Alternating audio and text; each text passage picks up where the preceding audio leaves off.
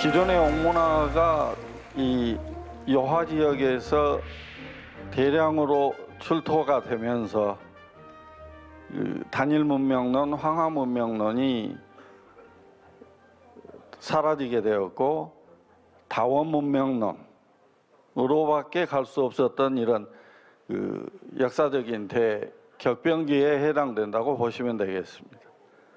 따라서 신석기 시대와 청동기 시대로 들어오는 이 동아시아의 역사적 대격변기에 결국에 우리는 옥문화를 들여다봄으로 인해서 우리의 역사를 바로 들여다볼 수 있는 뭔가 하나의 전환점이 마련되지 않았는가 생각을 합니다.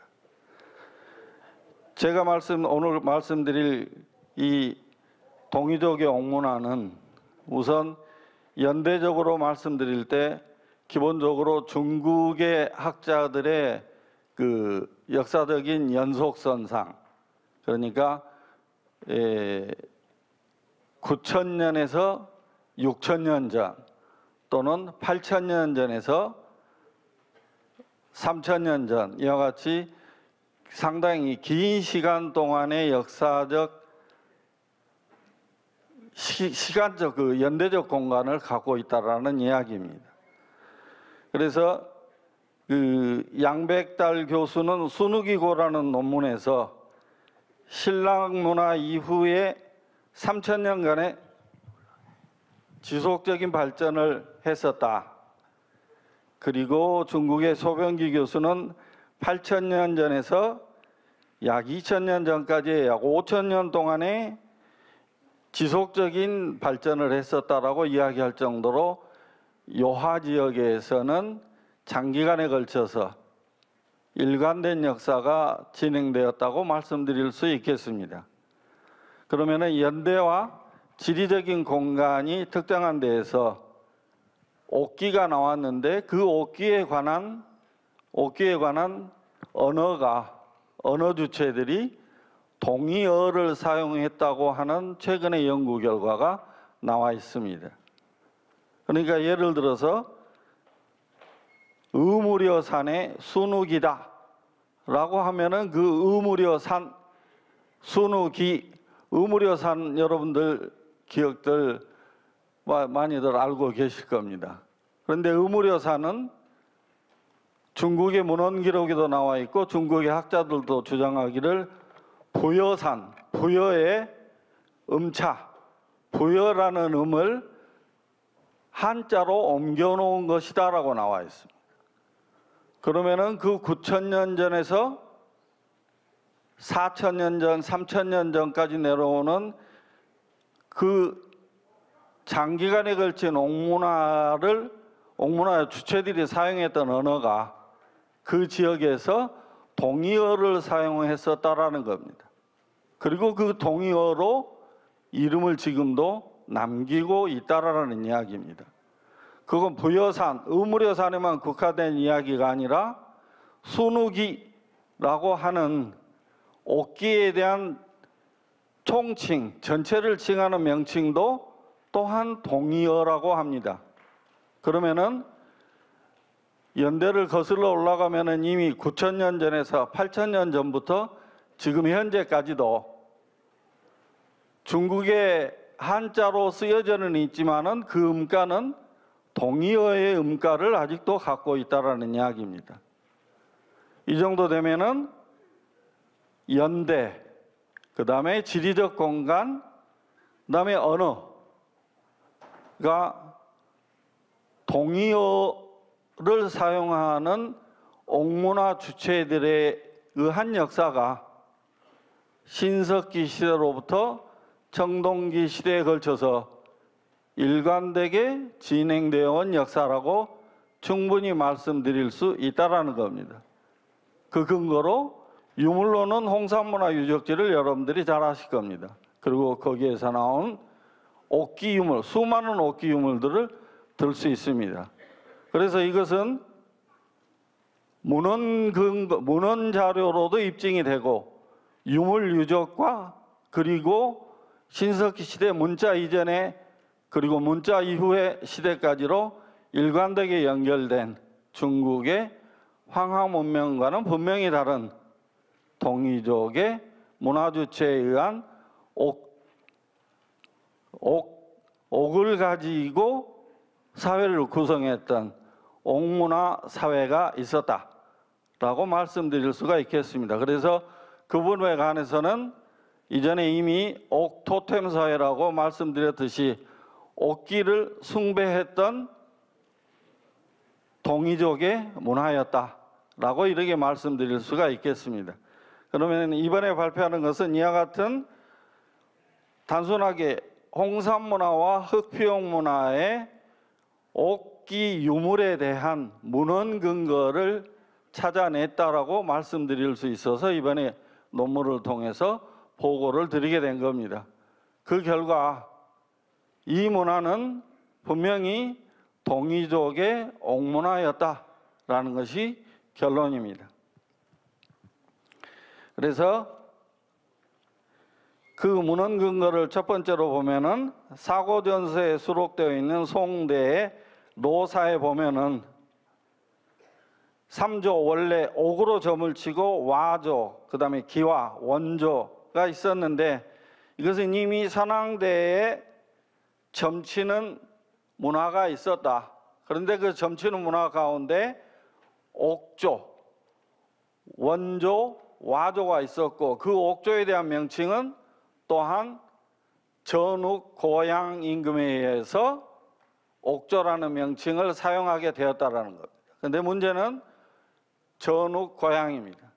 산해경에 보면은 전욱 고향은 출생지, 성장, 그리고 예를 들어서 활동했던 곳, 그리고 하늘을 관측했던 곳, 그 기록이 산해경에 나와 있을 뿐만 아니라 최근에 한국에서 우리 조선 세종조의 이순지가 쓴 천문류 초에 상고해에 이름이 갑, 갑인년에 갑자월 초 하루 동짓날 한밤에 오성이 자방에 합하였다라는 기록이 있습니다. 조선 세종조의 이순주, 이순지가 쓴 천문류초에 나와 있습니다. 이것을 우리 박석재 박사님하고 황보승 선생님이 천문류초의 오성 계합 기록 등 오성 결집 현상 분석이라는 논문에서 제가 그 근거를 확인할 수 있었습니다. 그러면은 사망오제의 전설과 신화의 주인공이었던 전욱이 천문학을 오성 오성이 자방에 합한 기록을 했던 천문 기록 관측을 한 역사적 기록을 남긴 역사적 인물일 가능성이 높다는 이야기입니다. 이와 같이 천문학적으로 천문학의 천문학적으로 봤을 때에도 전욱이 전욱은 분명히 역사적 인물일 가능성이 높고 또 전욱은 하늘을 관측해서 책력을 쌓았다, 책력의 기원을 삼았다고 하는 기록과 함께 옥으로 점을 지었다라는 기록, 이 기록이 합해졌을 때 전욱은 또 전욱의 장지가 부여산입니다.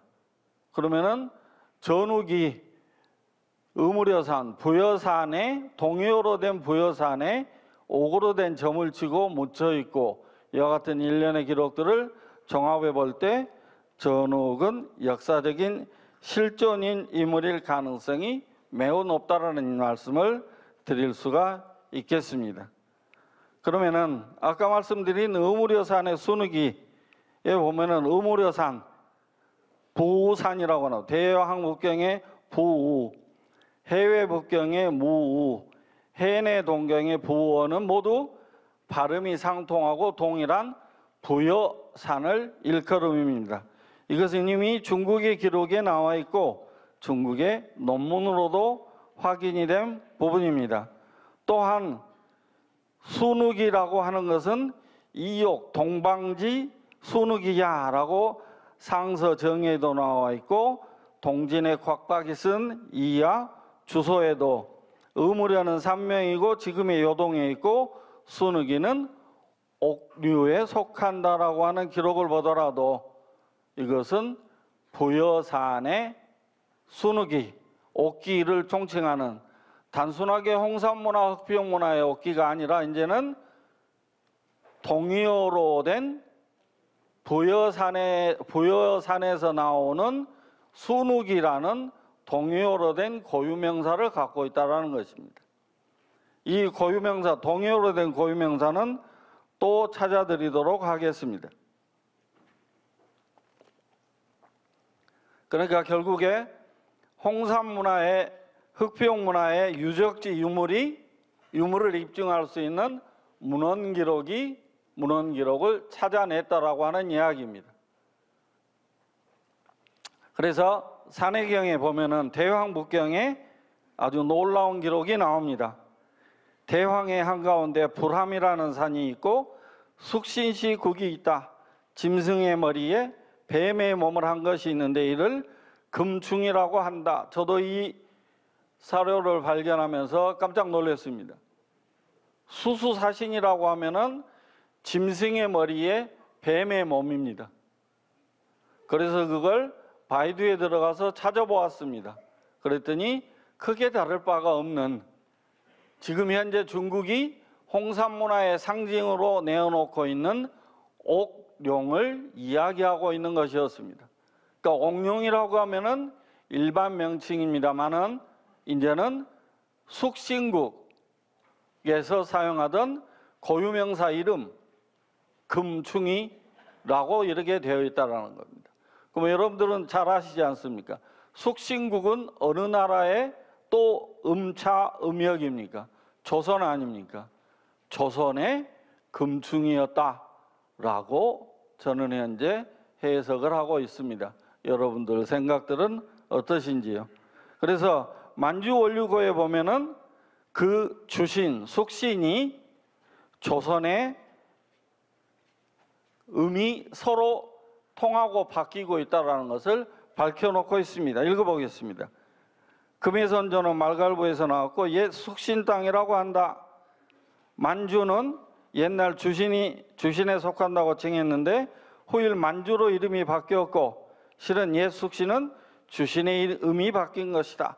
우리가 쓰고 있는 조선의 음가와 거의 다르지 않음을 정인보 안재영 제시가 숙신을 중국 고서에서 출연하는 주신, 식신, 직신 등과 마찬가지로 조선을 음사한 것으로 파악들 하고 있습니다. 그러니까 이 여러분들이 알고 계시는 홍산문화, 흑피용문화의 C자용 옥룡은 실은 조선의 금충이라는 문헌 기록을 갖고 있는 유물이라는 이야기입니다. 이와 같이 홍산 문화와 흑피용문화에서 등장하고 있는 옥문화 유물들은 이제 그 문헌 근거가 하나씩 둘씩 밝혀지고 있습니다. 그것도 동의어로 된 음가로 풀어낼 수 있는 우리들의 역사적 유물이 아닐까라는 생각까지 하고 있습니다. 자, 이와 같이 홍산문화와 흑피용문화에서 상당한 양으로 쏟아져 나오고 있는 조형미가 뛰어난 이 옥기들 만들었던 그 옥 문화 사회 그러니까 옥을 토템으로 하면서 동물 토템과 결합되었던 이 사회는 시족 사회 단계에서 부족 사회, 부족 국가 단계로 발전해 나가는 단계를 옥기가 옥유물이 그 시대적 변화 과정을 발전적으로 단계적으로 보여주고 있다라는 말씀을 드릴 수가 있겠습니다. 흔히들 뱀 토템으로 가면은 시족 사회 단계에서는 복희, 부족 사회 단계에서는 태호 복희로 가면서 용사로 등장을 합니다. 그러면은 혹시 뱀 토템과 옥 토템이 결합해서 등장한 태호 복희 시절에 옥으로 점을 쳤었고 그 옥으로 점을 치는 과정에서 등장했던 옥룡일 수도 있겠다라는 생각을 하고 거기에 명칭이 숙신국의 금충일 수도 있겠다라는 생각을 합니다. 네, 더더욱 놀라운 것은 이 C자형 옥룡은 지금 현재에도 중국 안에서도 출토품이 한 점도 없습니다. 오히려 중국도 어려움을 겪고 있습니다. 홍산문화 옥류물 기념 우표를 내면서 용, 봉, 인 세 개를 내놓았는데 옥룡은 빼놓을 수밖에 없었습니다. 아마 산해경의 기록을 의식했던 것이 아닌가 싶습니다. 자, 이 수수사신에 해당되는 이 금충, 옥룡이라고 하는 이 머리 부분을 생각하시기 바랍니다. 사회가 신화적 발전 단계에서 동물에서 반인반수에서 넘어가면서 인간의 인체의 머리나 신체의 일부가 동물과 결합을 하는 단계에서가 등장을 합니다. 근데 놀랍게도 사람의 머리에 뱀의 몸을 한 형상이 고구려 고분벽화에 등장을 합니다. 우리는 해신, 달신, 중국 중에서는 복희, 여화라고 한답니다. 그래서 뱀 토템이 이렇게 돼 있고 이러한 뱀 토템에서 그 용으로 발전하는 단계에서 등장했던 이 옥룡은 우리나라의 경향신문 89년도 기사를 보면은 옥룡은 구분옥으로 변형되어 만주, 한반도, 일본 등지에서도 유행했다고 나옵니다. 그러면은 이 옥룡이라는 이 옥문화 자체가 국제적인 성격을 갖고 있는 문화라는 것도 여러분들이 충분히 이해를 해 주시기 바랍니다. 특히 한반도와 일본 열도에서는 고곡이 널리 유행하게 되었고 이 고곡은 한반도와 일본 열도에서는 모자 고곡, 딸린 고분옥이라 그래서 고곡, 고곡이 큰 고곡 하나에 작은 딸린 고곡들을 붙여놓은 아주 독특한 형태로까지 발전을 하고 있습니다. 자, 여기에서 고곡, 옥룡은 고곡으로 유형됐고 또한 이러한 옥문화는 당시에 한반도를 중심으로 봤을 때 한반도의 서해안 그러니까 황해 서해 환 황해 지역의 중국 대륙 쪽과 한반도 서해안 지역의 옥문화 유물들이 거의 같은 고곡, 그 다음에 관옥, 대롱옥이 출현하고 있습니다. 이것은 일본 뭡니까 우리나라의 동해안과 일본 열도에도 똑같은 고곡이 출현하고 있는 것과 같습니다. 그래서 양자강 유역에도 이 옥결, 옥귀거리입니다. 그리고 대롱옥, 관옥이 나오는데 문제는 이 관옥이라고 하겠습니다.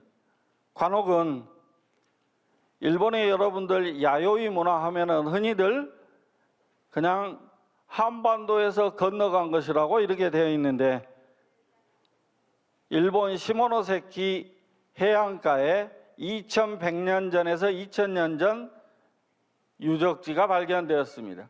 거기에는 두개골을 2차 장례를 지낸 유적지입니다. 근데 두개골들이 한쪽 방향으로 앞으로 나란히 일을 하고 있었습니다. 어느 쪽으로 향하고 있었을까요? 거기에 관련된 기사가 여기 한겨레 2004년도 기사인데 2100년 전, 2000년 전 하면은 한반도 서남부 마한과 일본 야요이와의 야요이에 대한 문화 전파를 결정 지을 수 있는 역사적인 방향성과 상징성을 결정하는 아주 중요한 시기이기 때문에 제가 그 기사를 한번 읽어드리도록 하겠습니다. 이 유적지는 일본의 시모노세키 도이가 하마 유적입니다. 기원전 3, 4세기에 한반도로부터 건너가 벼농사를 가르쳐 준 사람들로서 농경을 중심으로 한 야요이 문화를 일군 지역이다. 도이가 하마 해안의 인골이 바로 이 야요이인들인 것이다. 그들이 20도 각으로 향한 서북 쪽은 바로 한반도에서 초기 변홍사를 가꾼 호남 일대, 즉 발해 방향이며 그 방향으로 머리를 돌린 것은 고향을 그리워하는 수구지신과 영혼을 고향으로 날려보내려는 바람에서였을 것이다. 그러니까 일본 문화의 방향성, 시모노세키, 히비키나타, 도이가하마 유적지를 비롯해서 후쿠오카시에 있는 요시다케 유적을 보더라도 중심묘에서는 분명하게 일정한 방향성을 확실하게 띄고 있습니다. 그럼 어디를 향해 있는가는 이 도이가마, 도이가마의 2차 장내에 두개골들이 향한 그 방향선상에 이 연속선상에 있다라고 봅니다.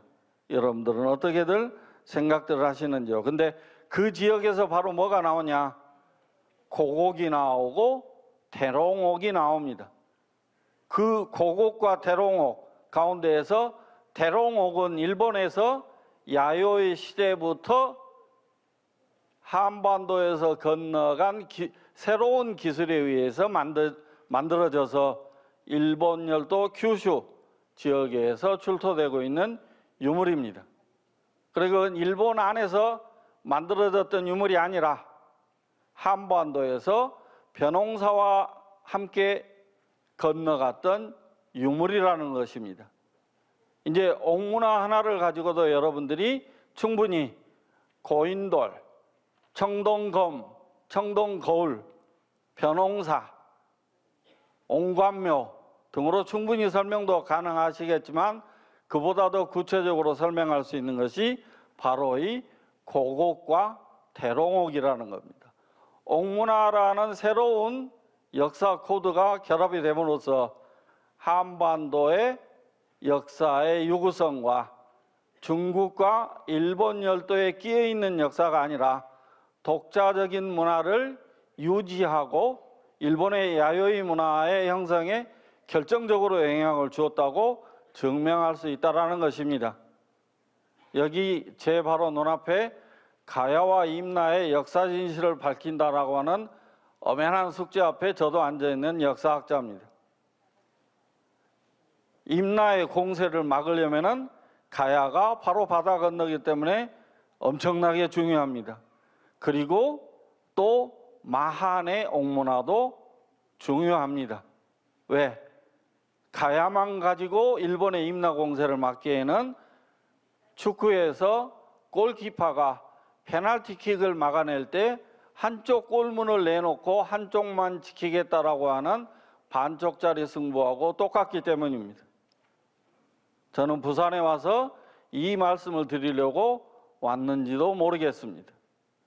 넓지도 않고 작지도 않지만 동서남북으로 이렇게 갈라져서는 역사가 하나의 맥을 이룰 수 없다라고 생각합니다.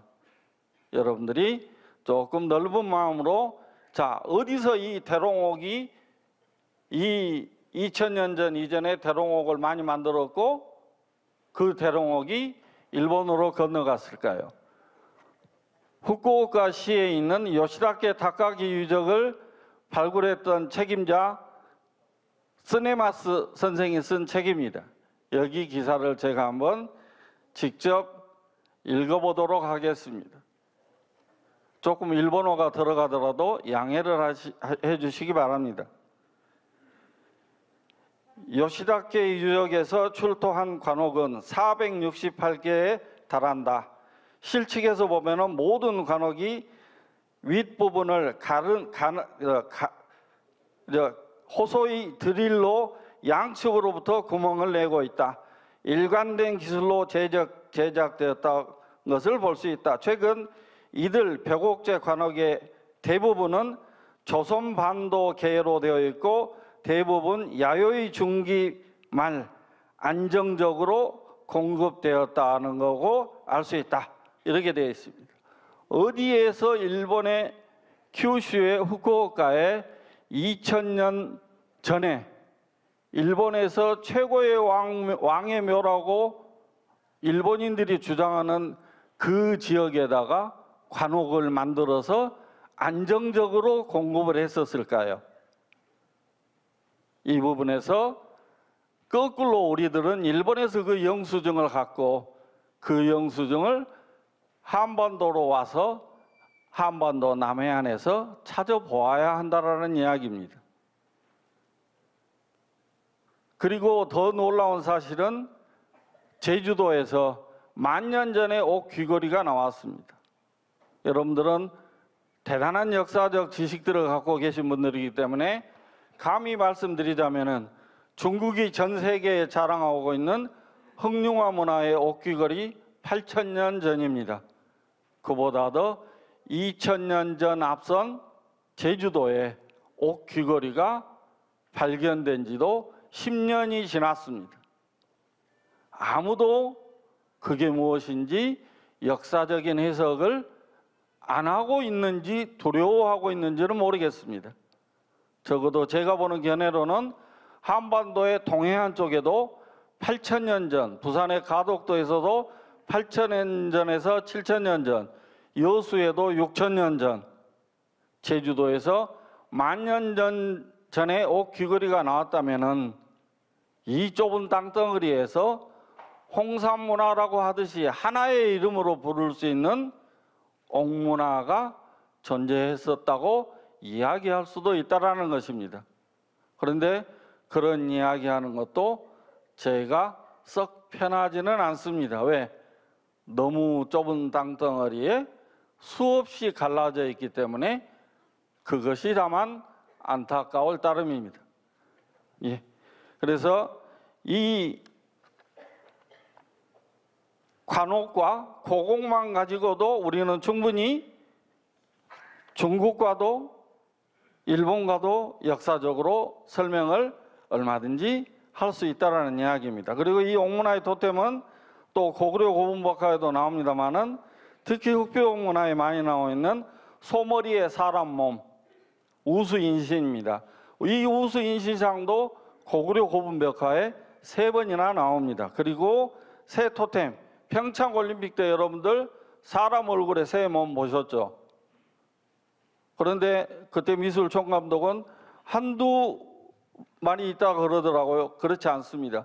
고구려 고분벽화에는 무수하게 등장합니다. 그리고 백제의 금동향로에도 인면조는 등장합니다. 이는 결코 반인반수의 신화적 발전 단계가 우리와 무관했던 역사가 아니라 우리와 역사를 함께하고 있는 우리나라의 국통의 맥을 정확하게 확인할 수 있는 새로운 역사 문화 컨텐츠라고 생각합니다.